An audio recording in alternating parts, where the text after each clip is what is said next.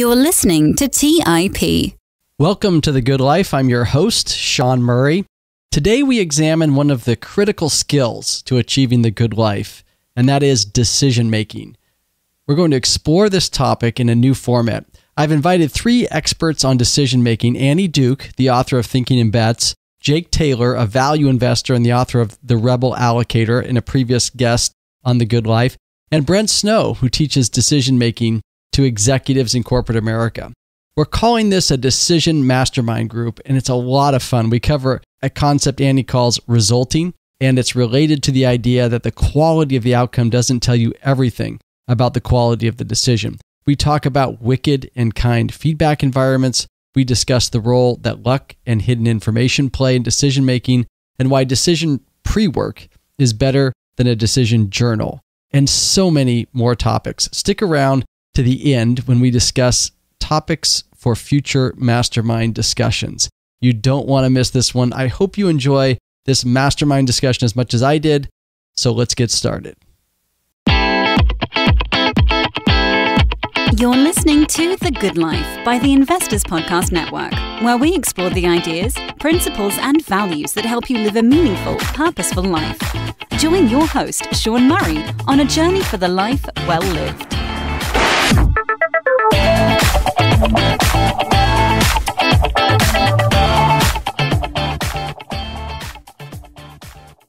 Welcome to The Good Life and to the Decision Making Mastermind Group. The purpose of this episode is to bring together a panel to explore decision making and how we can get better. There's a great quote from Ray Dalio. It's in his book Principles. He says, The quality of our lives depends on the quality of our decisions. And I think he's spot on. As you know, the ethos and the mission of The Good Life is to help us all get the most out of life to help us attain the life well lived. And one component of that, maybe the biggest component of that, is decision making. So it's a worthy pursuit to spend our time examining our decision making, learning from others, and striving to continuously improve how we make decisions. And in the spirit of that, I brought together three friends of the show who've thought and written deeply about decision making. Joining us today is Annie Duke, a former professional poker player and the author of Thinking in Bets. She also has a new book coming out this fall called How to Decide. Annie, thanks for being here. Thanks for having me. Jake Taylor is an investor and he runs Farnam Street Investments. He's been a guest on the podcast before, talking about his novel, The Rebel Allocator, which has a theme of decision making as well. So, Jake, thanks for being here. Thank you for having me.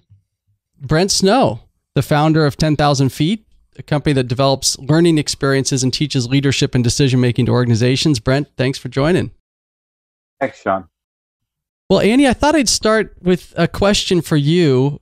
In your book, Thinking in Bets, which was a wonderful book, and I learned a lot from reading the book, but one of the tools that you talk about is something you call resulting, which I had not heard of before, but it ended up having a big impact on how I think about decision making. So I thought we'd start with just that particular aspect of decision making? I'm going to offer you sort of a paradox that I call the, paradox of experience. And what is that? It's that in order to become a better decision maker, you need experiences in your life, right? You need to have made decisions and see how they turn out and get feedback from that and kind of iterate. So, experience is necessary for becoming a better decision maker. But the paradox is that any individual experience that you might have can actually really interfere with learning. And the reason for that is that for most decisions that we make, the quality of the outcome is not correlated at one with the quality of the decision that preceded it. And there's kind of two influences that kind of get in the way. One is luck, which is just when you make a decision, that determines the set of possibilities that could occur and the probabilities at which you might observe those, but it doesn't determine which one you're going to see. Right. So I could make a decision that 95% of the time it will work out well, 5% of the time it will work out poorly. And just mathematically speaking, 5% of the time I'm going to observe the poor outcome and I have no control over when that will happen. I just know it will happen 5% of the time. So that's the luck element. And then there's also this influence of hidden information. I don't generally making decisions with all the information I would need in order to perfectly determine what that set of possibilities is. and what the probabilities of those things are. And on the hidden information piece, there's often just information that isn't available to us or would cost too much or we're not even aware we wouldn't need. And in those cases where it's not available, if that information would have an influence on the outcome, it wouldn't mean anything about our decision quality because the information just wasn't available to us. So we have these two things that are kind of mucking up the decision. And essentially, what happens, particularly because of the luck element, is that if we think about the four ways in which decision quality and outcome quality can relate to each other, all four are possible. Make a good decision, have a good outcome, could run through a green light and everything's fine. You could have a good decision that has a bad outcome. I could go through that same green light and someone coming the other way in the intersection could hit me. I could make a poor decision and have a perfectly good outcome. I've run red lights before by mistake and gotten through the intersection unscathed. And I could make a poor decision rather and, and actually have a bad outcome. So we can call those like earned rewards would be good, good. Just desserts would be bad, bad.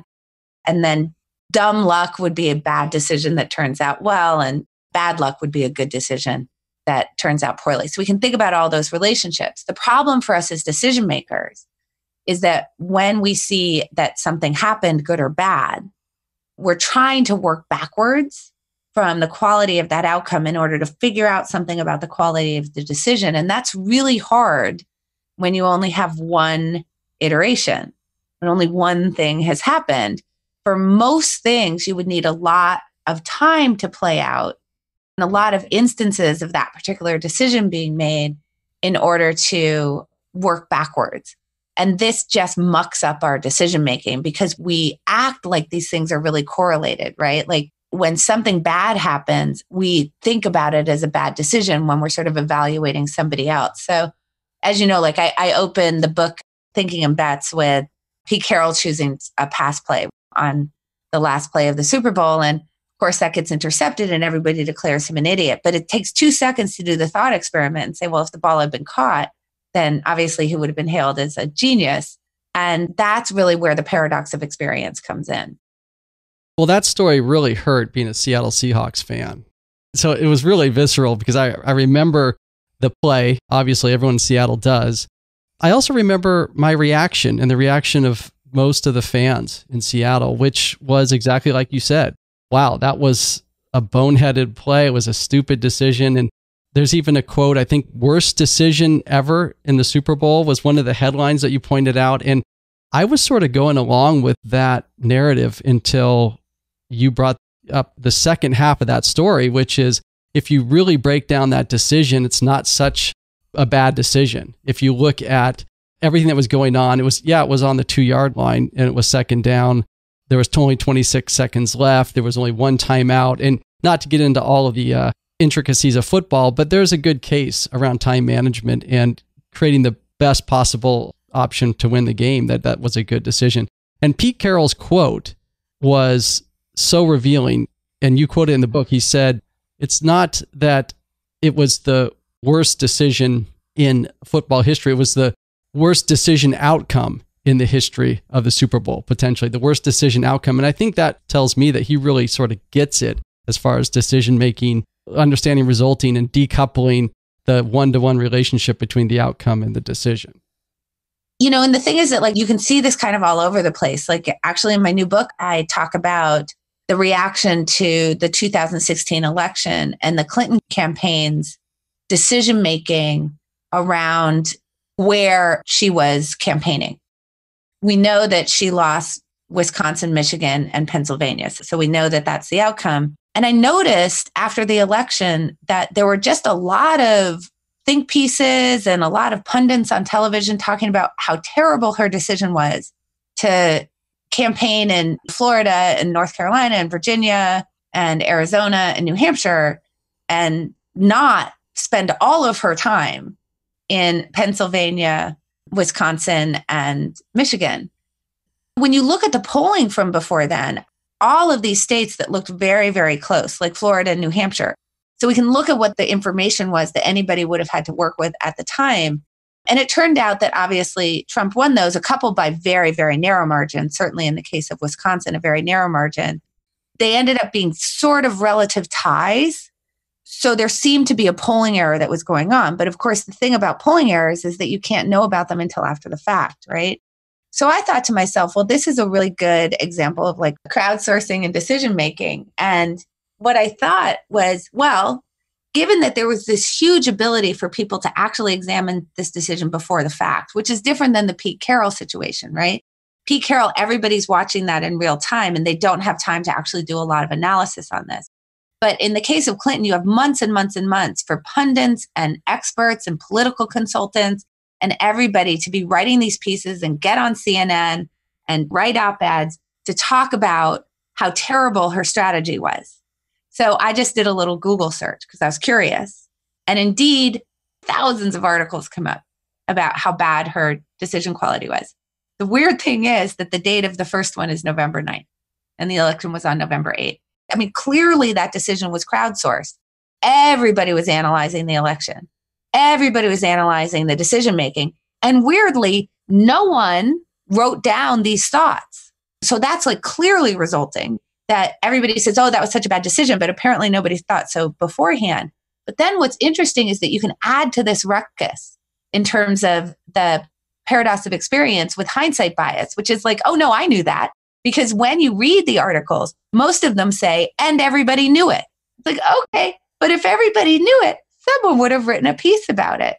And I think it's such a good example of how much we get tripped up by this experience that paradoxically is the only thing that we can use in order to get better at our decision making. And this really, I think, is the primary problem as we go into figuring out how to make better decisions. I'm curious to ask Annie a question if she has any kind of a gut sense of just across a broad swath of domains, what do you think would be an N that you would need? How big of a sampling to sort of get a little more comfortable about making a prediction? So the N that you need completely depends on the variance. So you would need to know the standard deviation. You'd also need to know a little something about the shape of the distribution, right? So in order to be able to tell what the N, in order to be able to understand what the N would need. So you just need to understand the variability. So just as an example, like for me to find out if we play chess, for me to find out who's better, I need an N of one. We can play once. but for poker, for example, if I play eight hours of poker, say in a live game, and I have a sizable edge, like I'm 5% better than the table. I think it's something like after eight hours in a live game, not online, you get fewer iterations in a live game. I think I'm going to be winning somewhere between like 54 and 56% of the time I'll be winning. But after, I think it's after a thousand or 1500 hours, I'll be winning 99% of the time. I'll actually have a positive balance sheet. So that gives you an idea. Like in poker, you need a lot more time to really have confidence about whether the person actually has an edge or not and to work backwards from that. So you can think about like a 50 50 coin, right? And we can actually work those probabilities out, right? In terms of, well, what are the chances of two heads in a row? That's 25% of the time you're going to observe that result. Three heads in the row is going to be 12.5% of the time. Four is going to be 6.25% of the time, so on and so forth. It's not that crazy to think, oh, you know, we could end up with 10 heads in a row on a totally fair coin so as we start to increase the volatility, you need to increase the N. When you make investment decisions, how many are you making in a year, Jake? How many times are you actually putting money on the line in investment? For me, I'm more of a Warren Buffett style of investor. So it's small. Like, I mean, two good ideas in a year would be okay. I would say Buffett's typically less than five, and there's often years where there's zero. So the N is very, very small as a sample size for the type of investing that I like to do. But if you're a day trader, I mean, you could be making hundreds of decisions a day and you can get your N up at a much faster rate. And you can lose your money pretty fast. I'm going to give you a kind of contrarian opinion, which is that while you might only make two investments in a year, two things are true. One is you're still making thousands of decisions. And if you can capture that data that you can actually become a better decision maker much more quickly because really everything is kind of like options trading. It's just that you're doing more no's than yeses. So I hear that a lot, you know, well, this is very different because I only make two decisions a year. And I like, no, that's not true. You make thousands. And so if we want to think about the omissions too, and how are we capturing that? And what's nice about the omissions is that there's less risk to you, right? In order to track that data, in order to become better. The other thing that's also true is that when you hold an investment, after you hold that investment, you're making choices about whether to press in that same domain, whether to hedge against it. If there's liquidity to the investment, you're making choices about whether you would like to liquidate that investment or not. And those choices are all happening along the way. So you would want to be recording those as well. The other thing is that when you make an investment, there are implications as to why that have to do with things that will be true about the world, some of which are would be on a very short time horizon where you can start to actually be very mindful of thinking about what am I thinking about beforehand in terms of what my ideas are about what the world will look like, that I can then close the loop in a way that will allow me to overcome the paradox of experience because I'm going to know exactly what I thought. I'm going to know what my predictions were. And we can think about that like back to the Clinton thing. The reason why I understand there was a problem is because there's an evidentiary record when everybody says, yeah, no, I knew that beforehand and so did everybody else, I can actually go look. So the more that you can kind of create that for yourself, I think that we get caught up in this idea that we have sort of commission and omission and the things that we commit, which would be the investments we make, loom very large in our cognitive space. And then the time horizon that that investment would actually settle also looms very large in our cognitive space. And so we want to try to pull back from that and try to think about how can we actually be data collectors? How can we create for ourselves the most coin flips possible that we can actually go back and check on? Annie's 100% right. The resulting in the investment world is it's a resulting orgy. I mean, it's all about returns, right? And that's all everyone wants to talk about. And yet over short periods of time, returns are all over the place. I mean, it's incredibly noisy researcher Robin Hogarth separates the world into like kind and wicked learning environments. And the kind learning environment is one where feedback is immediate, it's unambiguous, and tells you whether you did the right thing or not. And think about like a little kid who's learning how to walk. Like gravity is unrelenting in its immediate feedback of teaching you how to walk. So that's a very kind learning environment, despite maybe some scraped knees. But the investment world is a very wicked environment where there's incredible amounts of noise. Sometimes it takes years for you to figure out whether you were right or wrong. And so it's incredibly difficult to sort of close that feedback loop that might lead to future intuition. So the other thing that I would say would be a best practice based on what Annie just said was that, you know, you can get one year's worth of results by looking at the returns over one year for an idea. However, you can also be making specific predictions over that same time period about fundamentals about a business, let's say. Philip Tetlock's work is basically what I'm going to be telling you right now, but there's three things that make for a good prediction. You have to have an unambiguous, clearly defined outcome. I like to think about it like you're either pregnant or you're not. There's no like a little bit pregnant and you want your prediction to also be pregnant or not pregnant. You want to assign a probability to it. So you're thinking probabilistically and that's where Annie's idea about when you say want to bet about something, that gets people thinking in kind of a probabilistic mindset. Also, you have to have a very definite time horizon because it's very easy for you to say like, well, it was going to happen, but it just hasn't happened yet, right? So those three components put together. So let's say that I would say there's a 70% chance that Apple's profit margins will grow by 5% by January 1st, 2021. That's a good prediction. It has all three of the hallmarks we're going to be able to tell whether it's true or not. Now, we could also turn to this a statistician turned meteorologist whose name was Glenn Brier. And what he came up with was this idea of this uh, called a Brier score. And it's a two-factor scoring system. You have the probability that you assign to a particular outcome and then whether it occurred or not. And what's really nice about this is that it gives you both how accurate are you, but also where is your confidence on your predictions. And most of us tend to be overconfident about what we think that we understand the world. We're taking a very wicked learning environment and we're making it a little bit kinder. So if you came up with five individual, hopefully things that would be sort of key drivers about a particular investment outcome like profit margin or market share or a lot of different things that maybe correlate with a good outcome, we could actually grow the N at a five to one rate as far as assessing do we have luck or skill by taking a snapshot of our predictions as opposed to just purely our results. Yeah, that's a great insight. To get alpha or to get a return in the market that is better than the market, you're going to need some kind of insight that's different than the consensus. And that's what you're getting at, Jake. You're testing your ability to gain some kind of insight and being able to bet on that insight. Yeah. And the other thing I like to think about is like the universe of potential outcomes is incredibly wide. And so you have, I would say like millions of strands of the future that fuse together in the present to form this rope of history. And each different investment strategy that you could affect, you basically like different investment decisions will have different potential outcomes across millions of the potential futures. So you can design for different things. Do you want to design for resilience, which would be a good outcome across a bigger swath of the rainbow of outcomes? Or do you want to use optimization, which would be like the best average across the millions of potential outcomes? But maybe there's a big subset in there where it's a really bad outcome. So we're always kind of making trade-offs in our resilience versus optimization. And I think people would be well served to think about their, especially the investment world with as much noise and crazy things that can happen. You can have a pandemic breakout that no one saw coming. Lots of different potential outcomes.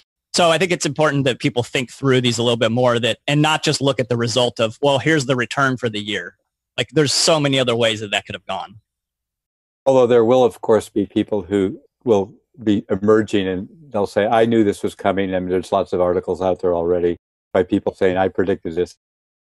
I don't know if you have read Range, but David Epstein actually did predict it. I mean, Jake, obviously, like, I'm a huge fan of Phil Tetlock's work, and I completely agree with you. And I think that what's interesting is that sometimes it's not even about unique insights, it's that you just understand your market a little bit better than everybody else and you're able to execute on it more quickly and you're more agile and flexible in the way that you're incorporating the information. It's like two people could have the exact same model of the world and one person when information comes in may adapt their model to the new information and another person may adapt the information to their model. So they both have the same kind of insight about the world, but one of them is a better updater than the other one based on new information coming in. And I think that, Jake, what you're describing in terms of like making these repeated forecasts that have very, very clear answers as to whether you got it right or not, and you're getting a large enough N that you can really start to test what your calibration is automatically because it's forcing you to think probabilistically in that way and to hold all these different futures in your mind at once and to also just sort of start thinking about well what would have to be true of the world in order for this set of outcomes to the ones that I observe or this set or this set, that it causes you to be more flexible in your thinking and more open minded. You know, when we have very strong models of the world, and you can see this like with some models in terms of investing that worked well in certain environments, maybe not other, like value investing, right? So once you do that, it's kind of dug a cognitive trench for yourself. And it's hard for people to climb out of that trench and sort of stand up and look around the world and say, okay, do I want to change anything? So, what Jake is describing, I think, allows you to create that kind of mindset where you're just more likely to be adaptive to the information, insight aside, right? Like it's just you know your market better and you're more open minded to the information that will allow you to actually develop even more expertise, like an extra, like 0.1 bips, and those just accrue over time. And once we accrue those over time, you know, obviously you do enough of those and all of a sudden you're like a bip ahead. I'd like to be that. What you described is like this multiverse, right? Like you have to have this multiverse in your head at all times. And then you're always on the lookout for which one am I in? Which timeline do I seem to be on here? And you can only do that by being really attentive to the world. What's nice is that in the investment world, especially, you get a ton of information, what everyone else thinks based on the price you can work backwards in what are the actual business implications that this business would have to do to justify today's price. And there's a ton of information as to what the assumptions are that the rest of the marketplace is making when you work backwards from price. Brent, maybe you could offer a little insight here from the organizational decision making and the corporate decision making world, how we can use some of these decision making tools to improve how we make decisions from an organizational and personal perspective? There's a couple of thoughts that I have, and as I've been thinking about listening to this conversation and about how this all applies. So, one of the things that, as we have been teaching decision making, we actually created a course called Decision Mojo, and we purposely chose the word mojo because mojo is this kind of almost undefinable but definable. It's this extra strength, this extra skill. You know, you know when you've lost it, you know when you've gotten it in one way or another. And it, in many ways, describes that extra little edge that you're talking about, Annie. That edge, that something, something, that extra 0.1 bit that adds up over time in one way or another. And so, as we are doing this, we were trying to figure out how do we teach leaders, how do we teach managers, professionals, and organizations on a day in, day out basis to be better decision makers, to feel more confident as decision makers, to be willing to make bets and make decisions. And conceptually, it completely makes sense to folks that, yeah, we should judge the quality of a decision by the process that was used to get to the decision, not by the result that occurred, because there could be any number of intervening variables. And sometimes in organizational world, they're months. You make a decision in January, the actual result of that decision, a little bit what you were talking about, Jake, it doesn't occur until some point down the road in the future. And in the meantime, there's been a lot of noise. There's been a lot of other kinds of things that have intervened and caused it to go one way or the other. But you've kind of lost the trail. And so it's hard to get that immediate feedback. Oftentimes, by the time the result occurs, they've kind of lost the trail on some level. People get it conceptually that you should do that. But the challenge is the folks that they report to their managers, the senior leaders of the organization, are often like the pundits who are making comments about Pete Carroll's decision. I often think of the senior leaders as the pundits in that world who immediately go to result. That's the shortcut. That's the way in which they sort of go, okay, that was a good decision or a bad decision. People feel like it doesn't really matter what process I use in many cases because I know I'm going to get judged on results. And in fact, in organizational life, people say, we judge you on results. You get your performance reviews based on results that you achieved, the results that you created. And so as we work with managers, we realize that the big challenge is actually to help them, A, feel like they've got a good process. And so that they feel confident about they're doing the quality kind of thinking. They're bringing in the different perspectives, the contrarians who are going to challenge them in one way or another, the people who are willing to tell them when they're not thinking about something or bring them disconfirming evidence that they've got a good process, that they've framed a decision in a way that makes sense, they've challenged their frame, that they've used that process well. But the key thing they need to do is they need to be very, very skillful at communicating that process. And in some respects, getting a meta decision made by their leaders about the quality of their process. So the leaders say, okay, we agree you're using a good process to get to this decision.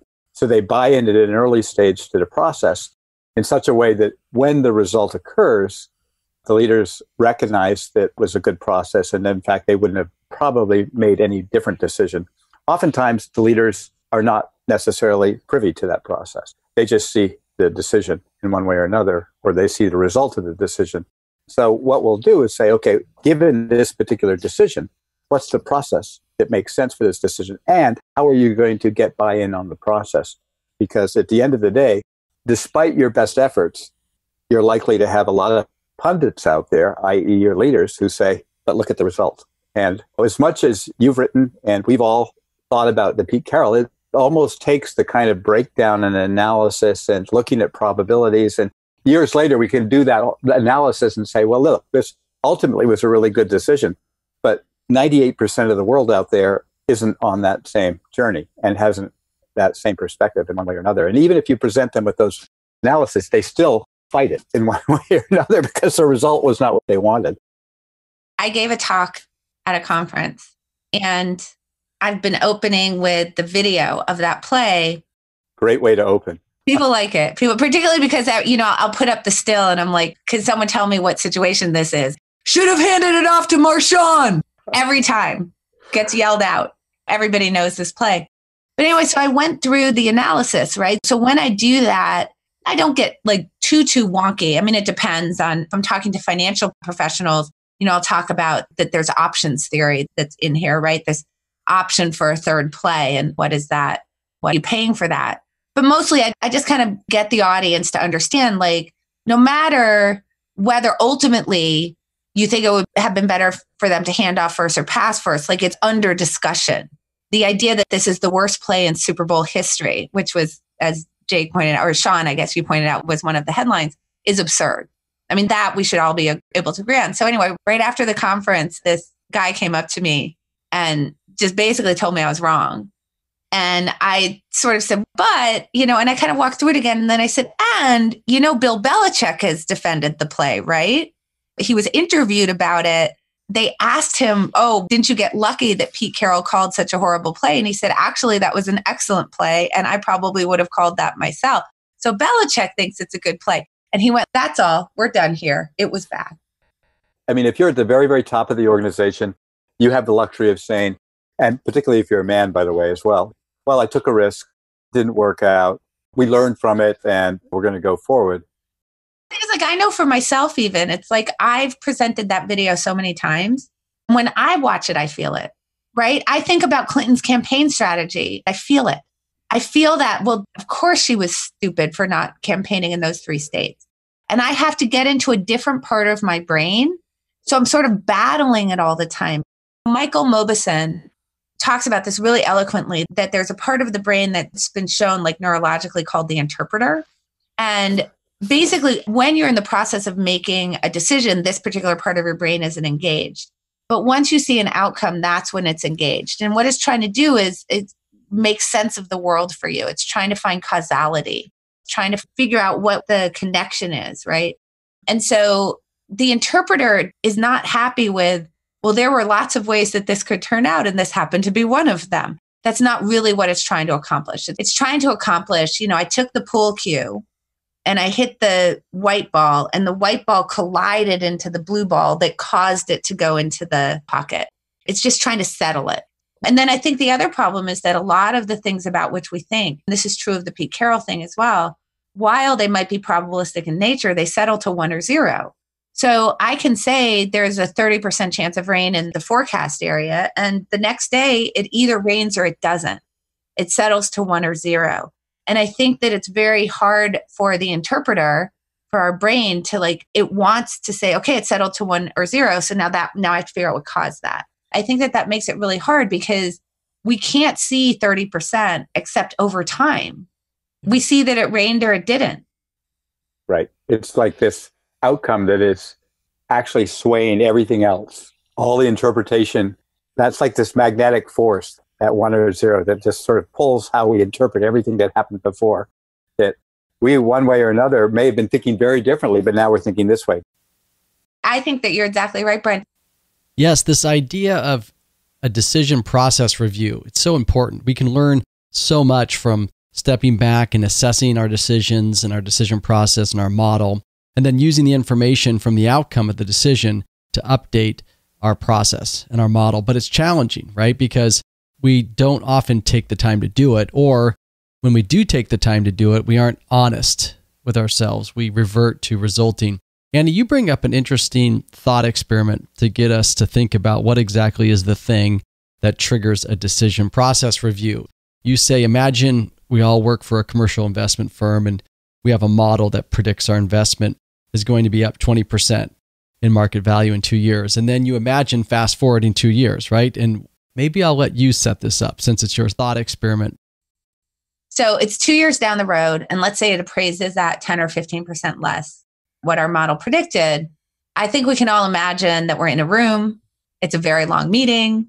If it's a better company, they're going to be talking about the model and the process for making the decision to invest, they're going to say, I know, I know, I don't care that it lost. We don't care. But we want to figure out what's going on with our model because obviously we think our model was wrong. So let's really dig into it, right? And it's a very, very long meeting. So now let's do the thought experiment that we do the exact same thing. We say we really think that commercial real estate is being undervalued right now. We're going to build an office building. We have it appraised at X dollars in two years. That's what our model says. We finish the project and it appraises 10 or 15% higher than what our model said. Are we in a room that doesn't involve champagne, by the way? Is it a two hour long meeting about what was wrong with our model? Should we need to be examining it? Was this just a tail event? Was our model off? Why did it do so much better than we expected? Was it for reasons that we could predict, or was it orthogonal to the reasons that we thought?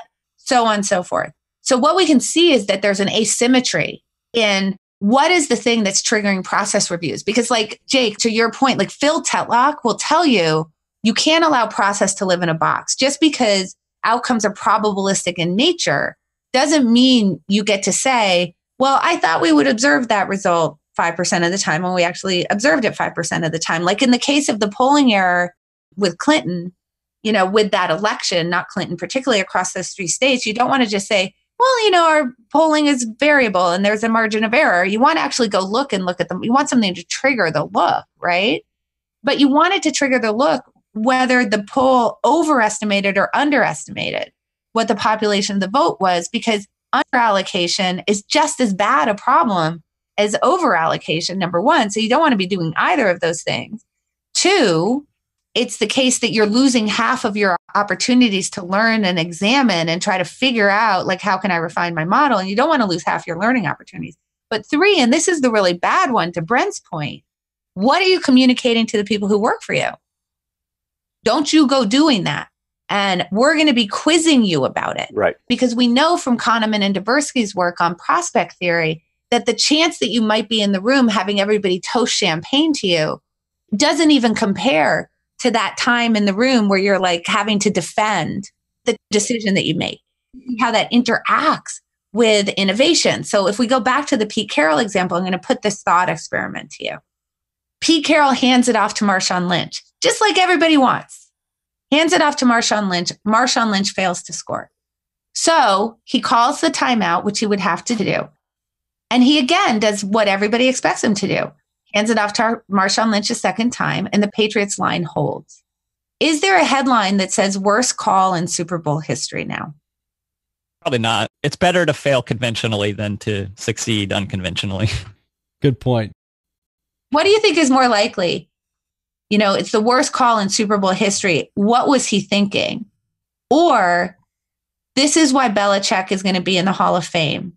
The Patriots defense was too strong. They held the beast at the goal line for the win. Where do we think those headlines are going to go? And this becomes a problem as it interacts with this issue of are we in the room for bad outcomes or good outcomes, right? So we're only in the room for bad outcomes. And that's only a problem if it's unconventional, which can be because you didn't have full consensus. So now that causes consensus speaking or false consensus speaking or you know the kind of the worst version of consultants who just sort of are brought in to defend a decision that somebody wants to make so they can say no look we did the work or what i would say happens increasingly in organizations we call it consensus overdosing you basically cover your every base and you bring everybody in and so if it goes bad it's like oh well look at everybody else who was involved or status quo, which is the safe place to go because how can you fault the status quo? If you make a consensus or a status quo or conventional decision and you fail, it's like, yeah, it's bad luck. You do well, it was like, okay. So you're literally you're hovering around the middle. But if you do a Pete Carroll thing and you do something really, really unusual and you succeed, sure, you get called a genius. We see this all the time in Silicon Valley, right? Like genius. But the problem is when it fails, you're called an idiot. And that quadrant that we're so afraid of, we just kind of try not to lose, which is a horrible way to live your life, right? It's like, how can I just de risk at every turn? You're not going to do very well doing that. Right. So, one is that your employees, the people on your team, in your own life, you'll do this to yourself because you make these same judgments to yourself. It doesn't take another person to do it. You're going to be just kind of de risking all the time. That's number one. And then number two is that you're going to remove career risk with the kinds of things that you just said, Brent. Jeff Bezos gets this right. If you've seen some of his quotes, they did something at Amazon about 10 years ago called the Fire Phone, and it failed miserably. And it was a billion dollar bet, multi billion dollar bet potentially. He was asked about it. What do you think, Jeff, of this failure, this terrible outcome? And he said, Well, we're going to have a lot bigger failures in the future. And if we're not seeing those kinds of failures, then we're not making the right kinds of bets. And that's a very different mindset from your leadership. If you're at Amazon and you want to place a bet, if you want to invest in something that's going to be innovative, creative, and involve risk and uncertainty, knowing that you've got someone who thinks about risk in that way is going to clear the way culturally for that innovation.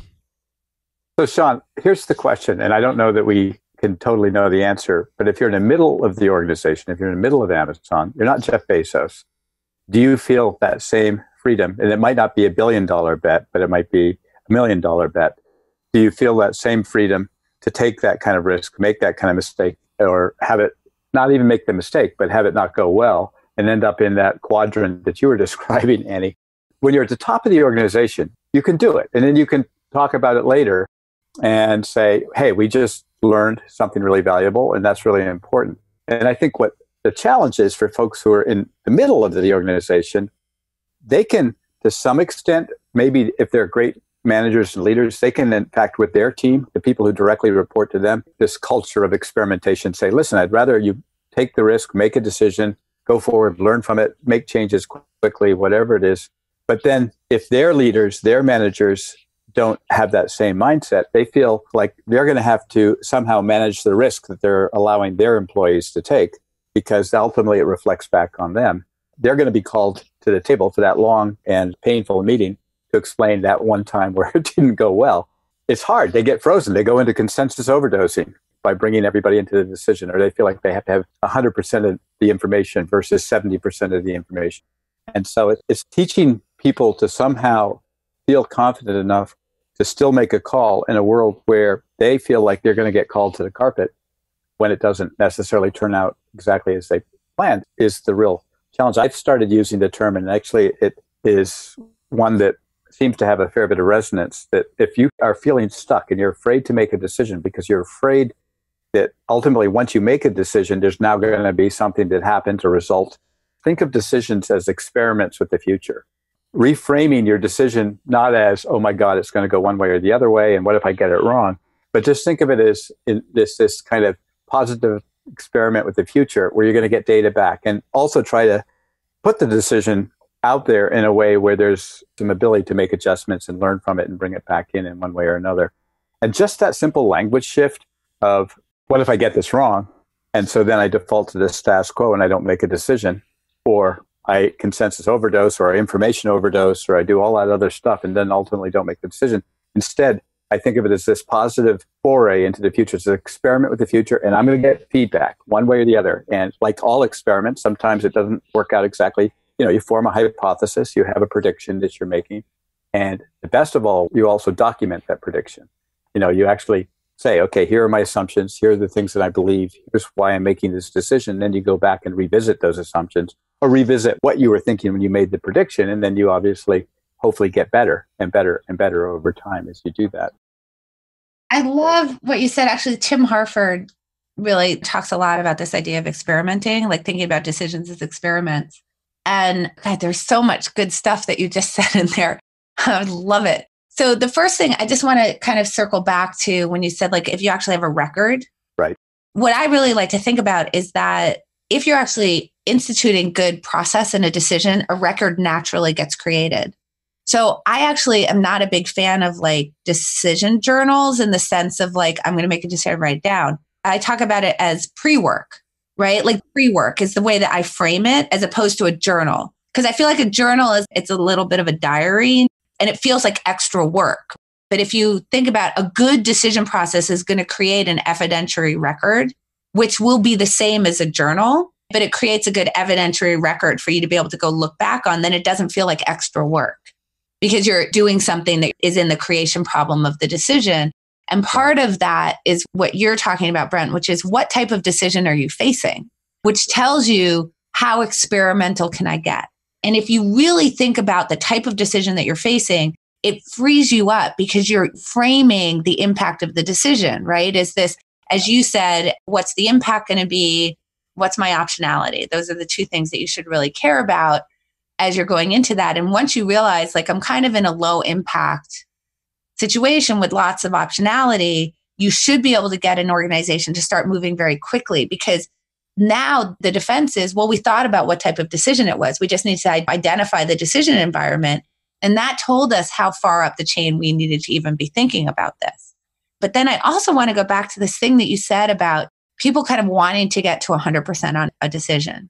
And the thing is that I think that people forget about time as a commodity. Mm-hmm. And that when you're entering any decision, there's a trade off between time and accuracy or time and certainty. Certainly, we really want to be thinking about that, right? Because that can get us into this situation where we end up making no decision and that, you know, and you're accruing risk by not making a decision over the time that you don't make a decision um, just as much as you would be if you make the decision itself, right? Either way, you've got risk accruing. And in general, what we'd like to do is be able to speed things up if possible, because sometimes the best information you can get is how it turns out. We live in a world that's so data rich. I think it used to be like when I was growing up, it was like, well, let's just go to this restaurant, right? Now it's we got to go on Yelp. We have to examine every restaurant in the area. Everything is reviewed got to go read some of the reviews. And that, you know, because we have this idea that with enough data, if we just got one more piece of information, if we just looked a little harder, that maybe we could get to that 100% sure. And so I think that, again, another paradox is that the amount of data that we have available to us now can actually slow decision making down in a really bad way. It encourages the illusion that we can get to 100%. But if you think about it as an example, like if I'm in a restaurant and I'm trying to order between the chicken and the fish, there's not a lot that I can find out that's going to tell me whether I actually like that dish beyond ordering it, having it in front of me, and tasting the food. And there's so many decisions that are like that. I just have to taste the food. Then you can take that and work backwards and say, well, if I do have a really high impact decision on the horizon, what are the small experiments that I can run in front of that? in order to actually build a better model of the world outside of just trying to accumulate information about base rates, which is important but doesn't give you the answer. Well, it can sometimes, right?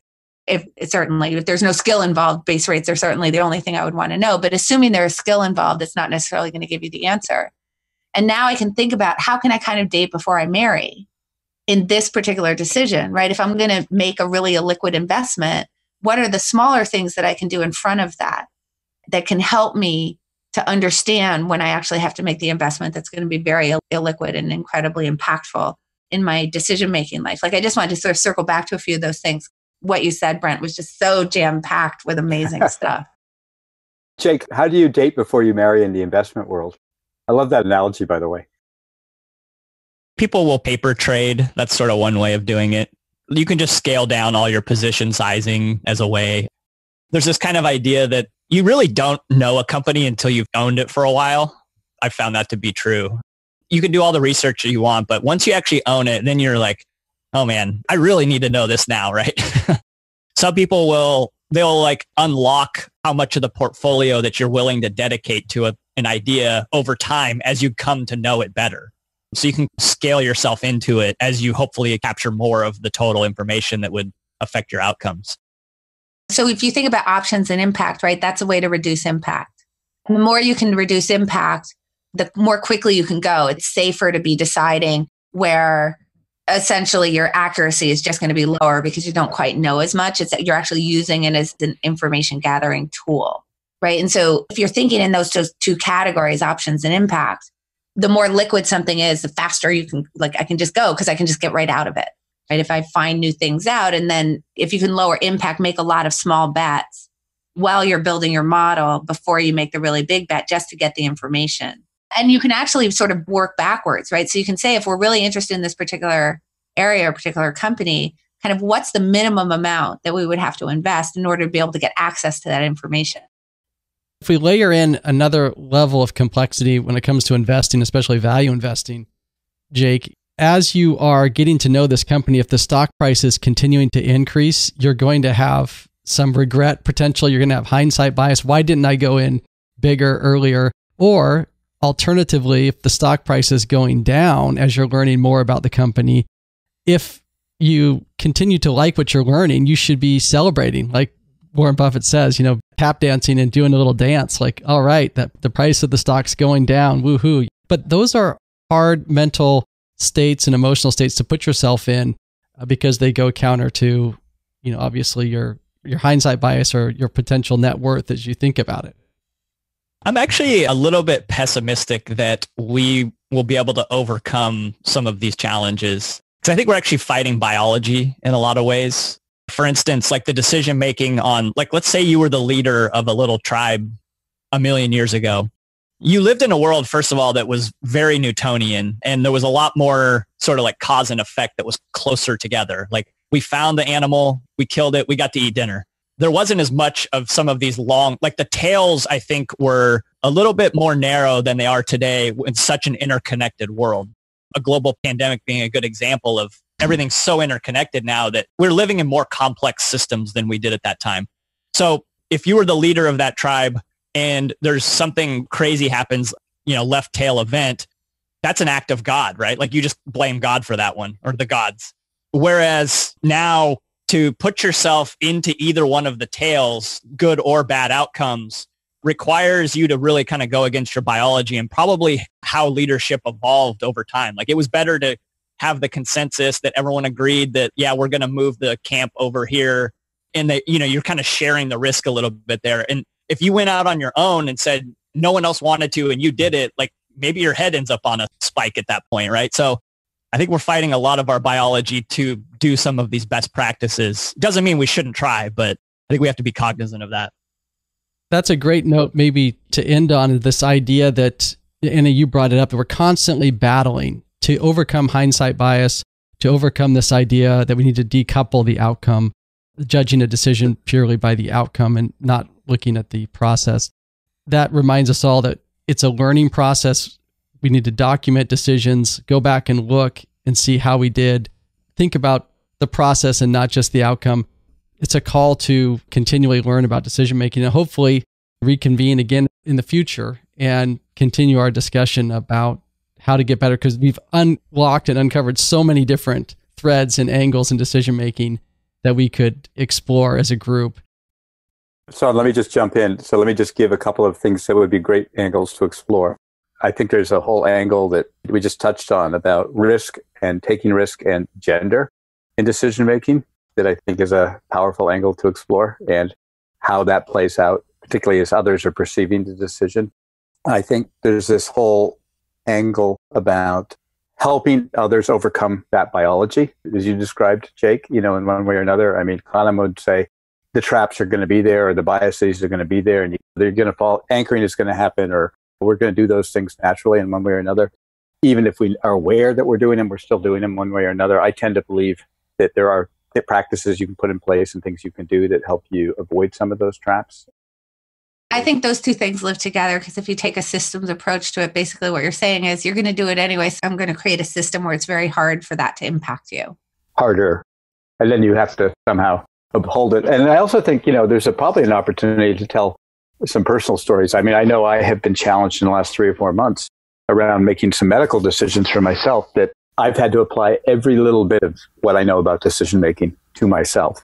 And that has traps all over the place, ultimately making a decision in the context of huge uncertainty and way too much information and multiple opinions who don't all agree with each other in one way or another. And it's been interesting to observe myself in action in that process and also observe how people have responded to me as a decision maker in that process, bringing the various tools that I have at my disposal from a decision making standpoint into it in ways that are somewhat different than what they normally experience in terms of the questions I ask and how I narrow down options and how I sort of adjudicate between different risks. And so I think, Sean, I would just say I think there's certainly opportunity for multiple additional avenues here. This has been fun. I agree. I mean, I think there's so many different solutions that you can put into place with it. We talked a lot about what the problems are. We talked a little bit about how things are generally done. But to Brent's point, there are things that you can really put in place within an organization that can really drastically improve how people are making decisions. You know, I think to Jake's point, the biology is there, but I actually have sort of a hopeful take on it. And from two places. One is you don't have to move a lot to get really big results. That's good news. So if you can mm-hmm. overcome your biology like a tiny little bit, you're actually going to be way better off. But also that I think that that natural tribalism and the way that tribe works you know, which some has to do with sort of the charisma and the the confidence of the leader in creating that kind of consensus and whatnot. That you can actually sort of dig into, well, what is tribe offering you? Like, what are the things that it's actually doing for you? And then turn that on its head so that you reorganize what you would say the epistemology of the tribe is. So tribes are cohering around epistemology, right? Like we're going to move our camp here because we believe that that is correct. Because and that's the, the belief that you're organizing around that's causing that action to occur. And I think that you can actually be pretty intentional about the epistemology of a group so that you can actually get them to cohere around something that looks more open minded than it naturally would be and i'd love to like have a discussion about that. Like how can you actually sort of create culture around really understanding sort of advantages to tribe? It's why we survived but there are disadvantages. And so how can you actually try to to mitigate the disadvantages that come along with it? It's a really fun mm-hmm. discussion to have. I just think like there's so much just in everything that brent and jake and sean that you've talked about like there's so much stuff that you can pull out of that that's like so amazing. And then get into a real practical application because a lot of what we talked about were the problems. We talked a little bit about the solutions, but like even in terms of forecasting, like, okay, so how do you actually do that? Like, how do you create a great forecast, right? So, some high level solutions, but how do you actually dig down and get into the nuts and bolts of how you'd actually build that piece of furniture, right? Like, you need a dresser. Mm-hmm. Okay, but how? Which I think is just like so fun to talk about. Let's reconvene this group soon and we'll explore the idea of how we can actually solve some of these problems. This has been just a wonderful conversation. Thank you for being on The Good Life. Thank you, Sean. It's been a pleasure. Thanks for having me. Thank you. I had so much fun. Thank you for listening to TIP.